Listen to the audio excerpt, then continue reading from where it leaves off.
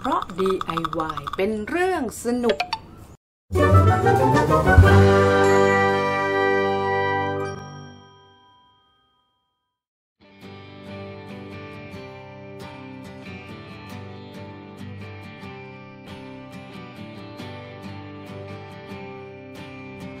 วัสดีค่ะ ช่องเดวายาเฮนะคะพี่ยาเองค่ะ ก็วันนี้นะคะจะมาชวนทำซองใส่โทรศัพท์มือถือนะคะ แล้วก็จะทำเป็นแบบว่าสามารถเก็บสายหูฟังได้ด้วยนะคะ ก็มาดูอุปกรณ์กันนะคะว่าจะต้องใช้อะไรบ้างดับแรกนะคะ อันนี้เป็นผ้าเขาเรียกว่าผ้าสักกลาดนะคะ ก็อันนี้ซื้อมาจากร้านไดโซค่ะ เขาจะมีแบบมีตัดไว้ให้เราเลือกหลาย ๆ สีนะคะ แบบนี้ก็คือเป็นอีกแบบหนึ่งที่แบบ เออเห็นสีแล้วมันนึกถึงมิกกี้เมาส์อะค่ะ ก็เลยเลือกสีนี้มานะคะออพี่ไม่ถนัดเย็บนะคะ ก็เลยจะใช้วิธีประกอบร่างมันด้วยปืนกาวนะคะ แล้วก็อันนี้นะคะเป็นเเทปที่เป็นแบบเหมือนตีนเขาเรียกอะไรอะตีนตุ๊กแกปะที่เป็นดึงดึงได้อะค่ะ อันนี้ซื้อมาจากร้านเอ่อ60บาทเหมือนกันนะคะ หรือว่า ตามห้างนะคะจะมีพวกของ 3M ก็มีขายนะคะ ที่เป็นเป็นแบบชนิดแบบแผ่นเล็กๆ คือละเราใช้นิดเดียวนะคะ ใช้ไม่เยอะก็ซื้อของ 3M ที่เป็นอันเล็กๆ ก็ได้ค่ะเเดี๋ยวมาลงมือทำกันเลยดีกว่าค่ะ อันนี้เขาแบบเขามีให้เลือกที่ไดโซนะคะ ก็จะมีให้เลือกแบบผ้าหลาย ๆ สีนะคะนนี่คือเขาเขาทำมาเป็นเซตให้นะคะ ตัดมาแล้ว มี 5 ชิ้น ผืนใหญ่สุดเป็นสีแดงนะคะ ถ้าใครอยากได้แบบเป็นสีแยกๆ ก็สามารถลองลองไปหาซื้อดูที่ร้านศึกษาพันธ์ก็มีนะคะ เป็นแบบขายเป็นแพ็คเป็นม้วนอะไรอย่างเงี้ยค่ะ ไม่แพงค่ะ เดี๋ยววันนี้พี่จะทำเป็นรูปมิกกี้เมาส์นะคะ อันนี้ขนาดที่เราจะทำตรงนี้นะคะ ขึ้นอยู่กับขนาดโทรศัพท์ของเรานะคะ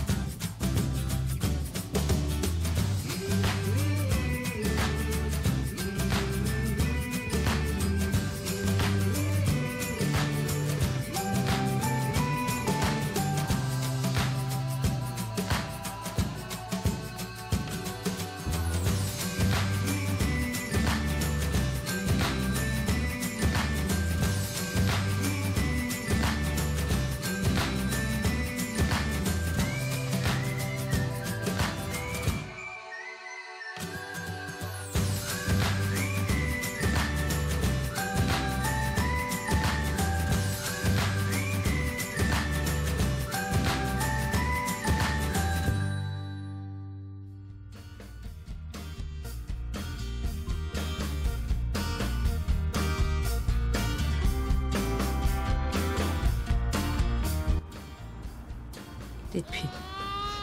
ติดผิด ติดผิดนะคะ เอาใหม่ มันต้องอย่างนี้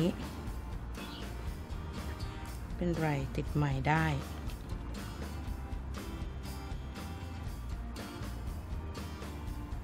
อยู่ด้านบนนะคะ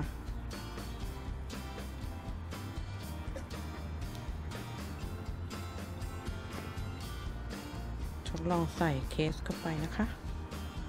พอดีเลย ส่วนตัวนี้เนี่ยที่เรามาทำอันนี้ไว้นะคะ ก็จะเอาไว้สำหรับเก็บสายค่ะ พวกสายหูฟังนะคะ